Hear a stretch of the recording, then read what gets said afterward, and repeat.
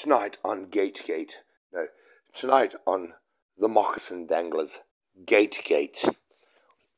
How many Q-tips does it take to wipe the cum off Melinda Gates' face?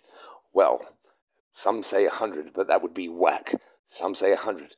That would be sincere. Some say a hundred skeletons falling out of Liberace's asshole. If you ask me, old MacDonald had a farm, but that was a gross net worth underestimate. Okay, Norm, it's over to Gate Gate.